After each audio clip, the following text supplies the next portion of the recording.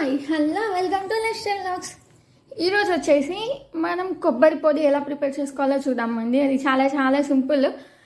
మనం మన కొబ్బరికాయలు ఉంటాయి కదా సో అవి మనం చట్నీ చేసుకుంటాం. అది చాలా రొటీన్ అయిపోద్ది. సో ఒకసారి ఇలా ట్రై చేసి చూడండి. ఇది ఒక టూ త్రీ డేస్ మనకు ఉంటుందన్నమాట.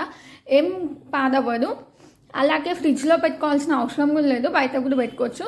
ఫస్ట్ నేను ఒక వాండి తీసుకొని అందులో కొంచెం ఆయిల్ వేసుకొని అలా ఆవాలు జీలకర్ర వేసుకున్నాను. నెక్స్ట్ మీ మీకు స్పైస్కి తగ్గట్టు పచ్చిమిర్చి యాడ్ చేసుకోండి. అండ్ కొంచెం పసుపు కూడా వేసుకోండి.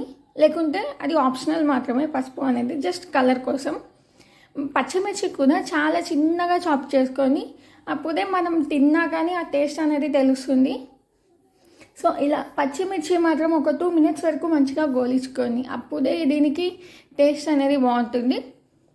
నెక్స్ట్ నేను కొంచెం పసుపు యాడ్ చేస్తున్నాను. ఇది ఆప్షనల్ మాత్రమే. మనకు కొంచెం కలర్ పెంచుతుంది అన్నమాట మన కొబ్బరి పచ్చి కొబ్బరి అనేది వైట్గా ఉంటుంది కదా సో ఆ కలర్ పెంచడానికి పసుపు వేస్తున్నాను. నెక్స్ట్ తగినంత సాల్ట్ వేసుకోండి. ఇది మనకు రైస్లోకి అయితే చాలా చాలా బాగుంటుంది. ఒక్కసారి ట్రై చేసి చూడండి సూపర్గా ఉంటుంది టేస్ట్ అయితే. సో ఇలా అన్నీ వేసేసి ఒకసారి కలిపేసుకొని నేను ఆల్రెడీ పచ్చి కొబ్బరిని ఇలా తురిమి పెట్టుకున్నాను. ఒకసారి మిక్సీలో వేస్తే సరిపోద్దండి.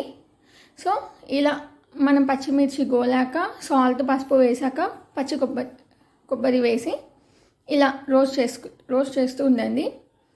మంట కూడా కొంచెం లో ఫ్లేమ్లోనూ పెట్టుకోండి. లో టు మీడియం ఫ్లేమ్లో హై ఫ్లేమ్లో పెట్టేస్తే మనకు మారిపోద్ది తొందరగా గోలదు. సో ఇది అనేది మనకి చాలా గోలాలన్నమాట. టైం పడుతుంది ఒక ఫైవ్ మినిట్స్ వరకు. సో మీరు లో టు మీడియం ఫ్లేమ్లో పెట్టుకోండి మంట అయితే. సో ఇలా మంచిగా గోలించుకోవాలి. రైస్లోకి అయితే టేస్ట్ చాలా చాలా బాగుంటుందండి. చూసారా? కొంచెం మనకి ఇది అనేది పొడి పొడిగా వచ్చేసింది కదా. మీరు నార్మల్గా ఇలా అయినా తినేయచ్చు. బాగుంటుంది మనకు. మీరు కొబ్బరి అనేది కొబ్బరి చట్నీ కానీ లేకపోతే పల్లి చట్నీకి మనం అందులో వేసుకుందాం. సో అలా కాకుండా ఇలా ఒకసారి ట్రై చేసుకొని చూడండి. చాలా చాలా బాగుంటుంది టేస్ట్ అయితే. సో ఇలా మనకి చూసారా? పొడి పొడిగా అయిపోయింది. మీరు కావాలంటే ఇందులో ఇంకేమైనా లైట్గా మసాలాస్ యాడ్ చేసుకోవచ్చు. బట్ నేను మాత్రం కొంచెం అలా లైట్గా గరం మసాలా వేసాను మీరు కావాలంటే ధనియాల పొడి ఇంకా ఏదైనా మసాలా వేసుకోవచ్చు. నేను అది కూడా హాఫ్ టీ స్పూన్ మాత్రమే వేసాను కొంచెం టేస్ట్కి తగ్గట్టు. సో ఇలా అంతా ఒకసారి కలిపేసుకోండి. చూసారా? మనకి దగ్గరికి వచ్చేసింది. అంటే మనకు చూసారా? పొడి పొడిగా అయిపోతుంది. మనకి కొబ్బరి అనేది మంచిగా మీరు చిన్న చిన్న ముక్కలుగా కట్ చేసుకొని పేస్ట్ చేసుకున్నారనుకోండి ఇలా ఈజీగా మనం గోలించుకోవచ్చు. చాలా సింపుల్ అండి. Thanks for watching this video like share comment and subscribe